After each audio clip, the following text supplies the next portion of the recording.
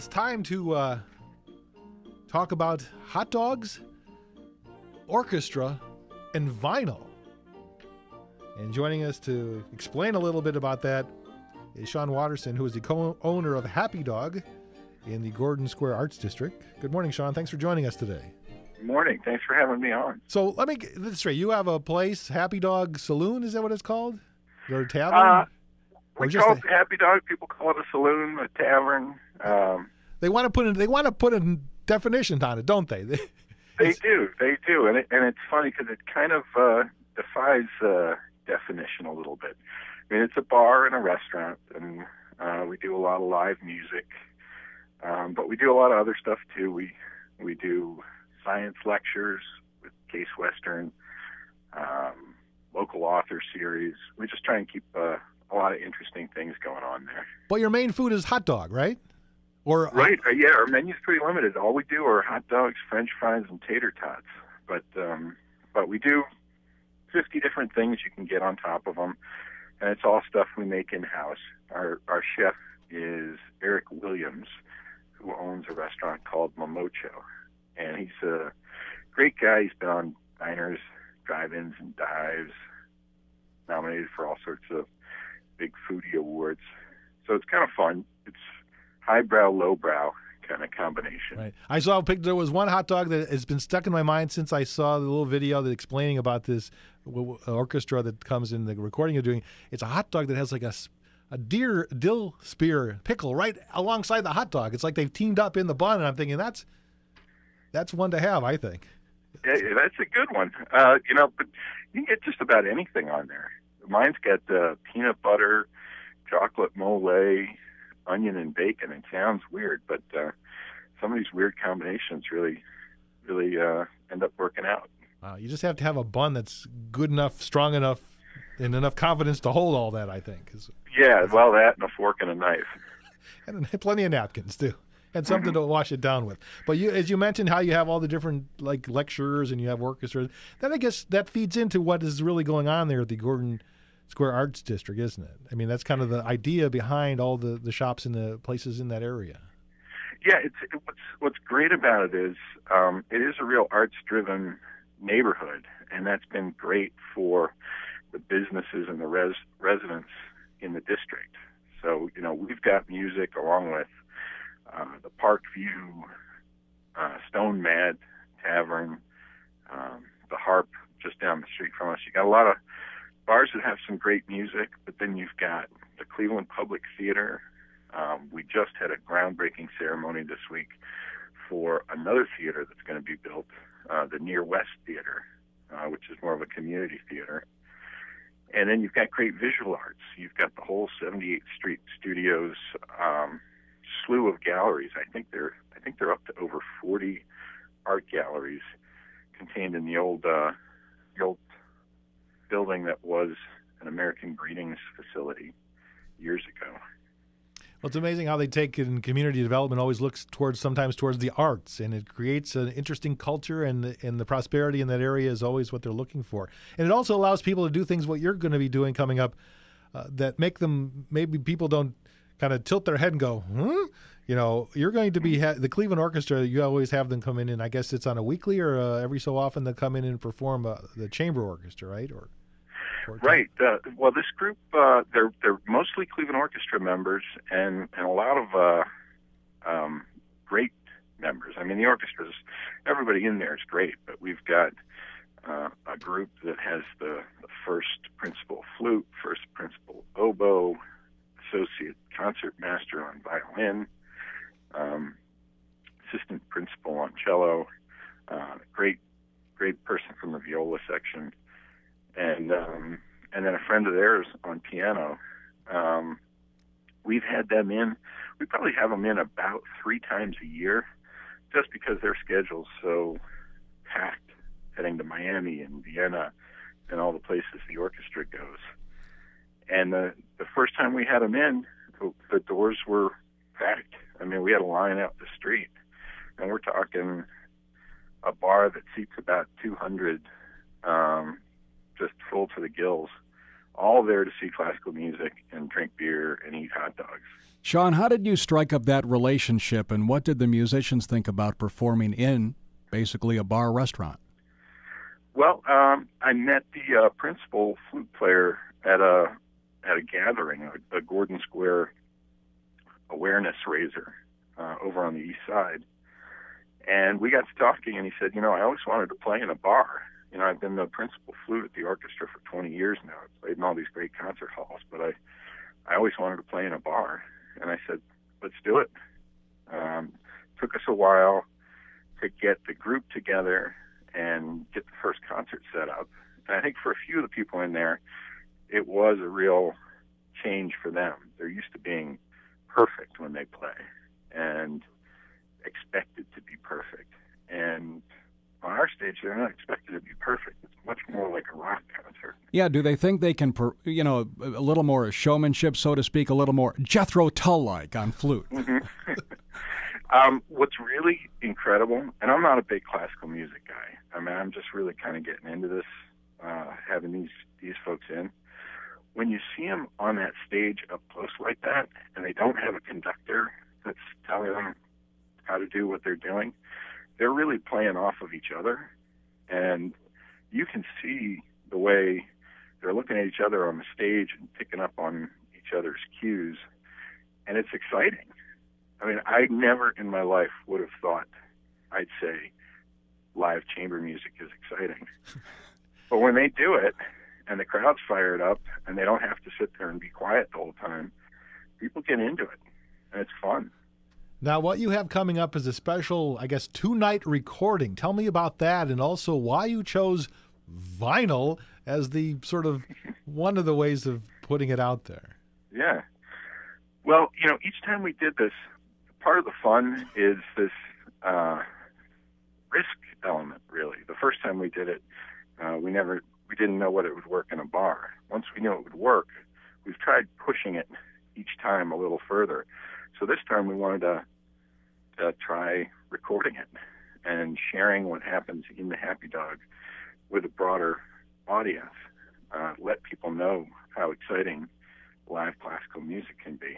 And so we pulled together a great team. You know, there's some there's some folks who used to work for Telarc Records when that was still around here in Cleveland, Grammy winning engineers and Grammy nominated producers, and they got on board with this idea of recording in a bar. I think some of them had done some of the Blue Note jazz live recordings in the past. And so the thought of kind of taking that concept of recording jazz in a club and, and applying it to classical was exciting for them. So we, you know, we tried it out. We had a concert back in August that we did uh, over the radio. Um, worked out some of the kinks, but uh, we'll be flying by the seat of our pants a bit. The shows are going to be next week, Tuesday, December 4th, and Wednesday, December 5th. They start at 8 p.m. They'll probably run to about 10:30, and uh, admissions free. We'll be pre-selling pre-selling the record. We've got uh, concert posters for sale. Uh, we're trying to raise the funds to uh, to pay for the recording. Uh, we've actually got a Kickstarter campaign uh, out there on the internet. If you go to happydogrecords.com, you can see our Kickstarter video and, and get all sorts of other information about the project. But um, but we did. We made the decision to put it out on vinyl because vinyl is making a big comeback. Uh, you know, it seems like it went away completely over the last 10 years, and, and in a lot of ways it did. But um, especially for the newer rock bands, a lot of them are putting stuff out on vinyl, and it's it's interesting the reasons. Um, some of it's sort of nostalgia and kitsch, but really, we got to learn more when we started working with a company in Cleveland that produces vinyl. It's one of the biggest vinyl producers in the country, uh, and it's located right on East 36th and Superior. It's a company called Gotta Groove Records, and they they're they're they're killing it. They've got two shifts going now. They're making 15,000 records a week. They're shipping them all over the world. They're they're making records for bands in Australia and Germany, and they're exporting their records to China. And when you talk to when you talk to the folks at Gotta Groove, they point out when you sit down and you listen to vinyl, it's a different experience than when you click on your iPod. You can't hit shuffle on a record. Well, I used to stack. I used to stack those forty fives and try to do that a little bit, but you're right. you, can't. You can hit repeat, I guess, and uh, but you, mm-hmm. it's one of those interactive ones where you actually have to take responsibility for sort of what's playing, and when it ends, you got to turn it over or turn it off. I guess. It's... Yeah, and and you kind of have to sit there and listen to it, which a lot of times, you know, you can put music on and do other things, but but the experience of taking the record out of the sleeve putting it on the turntable, and then you've got the album cover, which which is kind of a lost art. When we went to CDs, you had so little space to put the liner notes and and pictures and and whatever artwork you wanted to put on there. You go back to to vinyl with the big 12 inch uh, album cover, and you can put a lot more interesting stuff there and really make the listening an experience. We're talking today with Sean Watterson, co-owner of Happy Dog the, in the uh, Gordon Square Arts District. They're going to have the Cleveland Orchestra uh, Chamber Orchestra come in record some of what they do. Now, you talk about the artwork, and I've seen the poster for this. Who designed that? Called Ensemble oh, HD, and it has like this pile of some classical instruments. I'm not sure if it's mixed in with uh, other hot dog food items on that. I'm not quite sure how that is, but it's, uh, it's yeah. I love yeah, I love to look at that. Who designed that? It's uh, his name's J- Jake Grace he um, he's one of our barbacks, and he's an artist. And at some point, we said, Jake, why don't you draw us a couple of concert posters? Um, very modest guy, and he does this really interesting stuff. Um, different styles for for the different bands. And so when we asked him to do something with classical, he said, "Well, tell me something about it." And we said, "Well, here are the instruments. He's got the happy dog. Um, it's kind of a mashup of the high culture and the low culture. And so he came up with this really cool picture of a sort of a pyramid of hot dogs with the with the classical classical instruments sort of tucked in. And that's that's one of the one of the premiums on the Kickstarter campaign. But it's a really cool poster, you know. Um, Jake's going to be doing he's doing all of our poster artwork for all of the other indie rock bands that are coming through, and I think he's someone who's going to be around for a while, and and these will be sort of collectible sorts of posters, not just not just the Ensemble HD one, but uh, a lot of Jake's work. Now, I understand also you will be having this available on CD for those people who have thrown away or discarded from their uh, turntables or unable to play a, a vinyl record. Is that right? we will be producing CDs, but but also with the vinyl, um, we include a digital download code, so you can have the record, but you can also have it on your computer. Okay, now you just kind of combine the future and the the past by a digital yeah. download with my vinyl record that I'm going to get sure. too. Mm-hmm.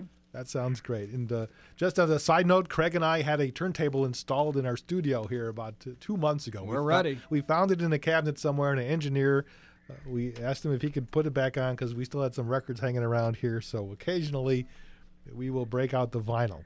We've we've well, we've rediscovered some of the reasons why we hated vinyl, but other than that, you know, the skipping or the the skating that's happening with the needle arm. But other than that, it's it's been a fun adventure, and I'm sure that uh, you'll encourage a lot of maybe those happy dog eaters to find their old uh, turntables once this experience takes place. Yeah, and I'll, we'll be sure to bring you a copy of the album. We're we're looking at a May 2013 record release date, and and we picked that date because somehow we convinced the entire Cleveland Orchestra to spend two weeks in the Gordon Square neighborhood next May.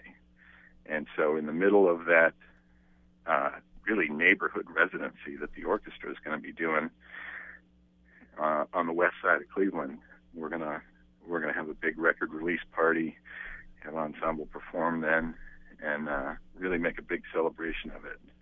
Now, in the past, uh, Cleveland Orchestra recordings have won Grammy awards. Is there any Mhm.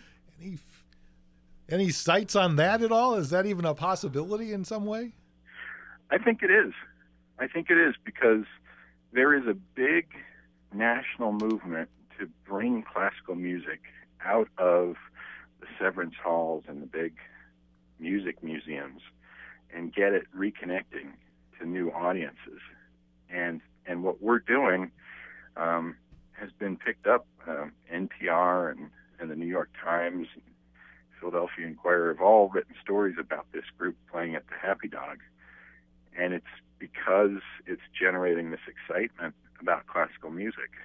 So we we're going to be pushing for it. We're we're going to be bringing the national press through next May, when we've got the Cleveland Orchestra playing at St. Colman's Church and in 78th Street Studios during their big Third Friday event. Um, we're really going to make it a big news event because in the classical world, the news is Cleveland's a place where this innovation around classical music reaching new audiences is happening. And it's because we've got the level of quality that we have in a city as accessible as a, as a city like Cleveland. Our guest today has been Sean Watterson, co-owner of Happy Dog in the Gordon Square Arts District. That's uh, that's out Detroit and what is it? Uh, West. West 58th in Detroit, 5801 Detroit. And if people want to find out more about this event or your place of business, what's the best way for them to do that? Uh, to find out about this event, uh, please go to happydogrecords.com. And to find out more about the Happy Dog, um, you can find us on Facebook. We post all our events up there. And it's just uh, just go on Facebook and look for the Happy Dog. Now let me see. I look at this menu and it has like a circle. It's like a fill in the blank. I don't know if I need a number two pencil to make this work, but I would go in and I would basically fill out what toppings I want on my hot dog and turn it in, and that's how it comes to my table. Yeah, it's like being back in school. You got to make sure you fill the circle in all the way. no X's. We need. We have some computerized. No check marks. well, Sean, thanks for sharing the stories with us, and hopefully, uh, good success and lots of uh, success and a good turnout coming up. Thanks a lot, Bruce and Craig. Appreciate the opportunity to talk about it.